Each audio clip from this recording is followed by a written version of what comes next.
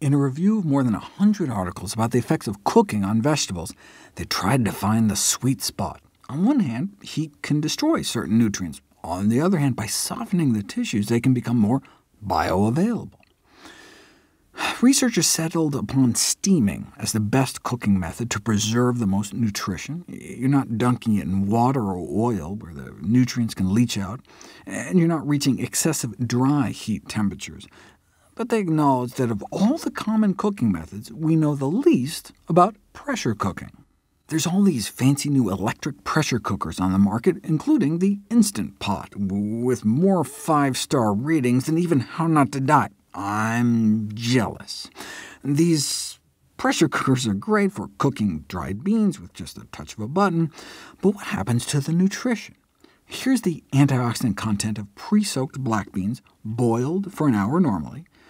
Compare that to pressure cooking for 15 minutes even more. In fact, six times more. Wow. Here I was pressure cooking just because I like the texture better. I mean, the canned ones can be a bit mushy, and I was spending lots of money on cases of canned beans, whereas dried beans are just so dirt cheap. So, so wait, so wait, cheaper, tastier, and healthier? That's quite a combo. OK, but what about pressure cooking vegetables? Vitamin C is one of the more heat-sensitive nutrients. Saute spinach or amaranth leaves in a pan for 30 minutes, and about 95% of the vitamin C is destroyed, whereas 10 minutes in a pressure cooker wiped out only about 90%. Uh, but who pressure cooks spinach for 10 minutes, and sautéing for half an hour? And even then, not much effects on beta-carotene levels either way.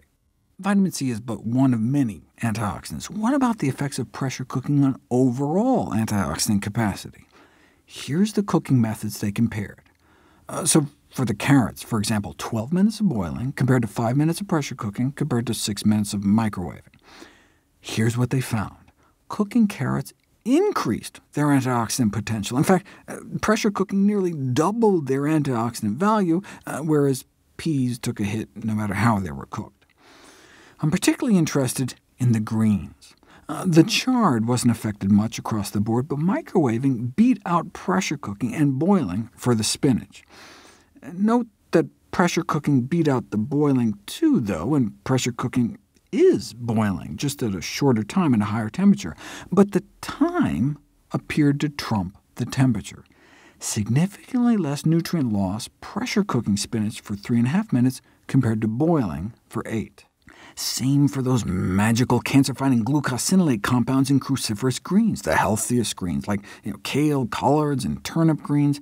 Here's where levels started out raw, with three-quarters wiped out by boiling, but less than half with pressure cooking. Uh, now, both got beat by steaming, but that's because you weren't dunking the greens in water, which can leach out the nutrients. But even though the pressure-cooked greens were immersed just as much as the boiled greens, only half the nutrient losses, presumably because it was only half the time, 7 minutes pressure-cooked compared to 15 minutes boiled. OK, so here's my idea. Uh, this was after 10 minutes of steaming.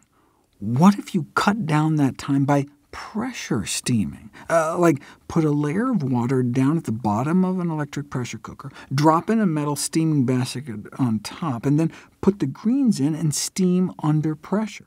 Uh, that's how I cook the greens I eat every day. I've always loved collards and like uh, southern cooking or Ethiopian cuisine, and I found I could get that same melt-in-your-mouth texture just steaming under pressure for zero minutes. Uh, what you do is set for zero, so it shuts off as soon as it reaches the cooking pressure, and then quick release valve it immediately to release the steam. Uh, the greens turn out perfect, bright, emerald green, cooked tender. Give it a try, and let me know what you think.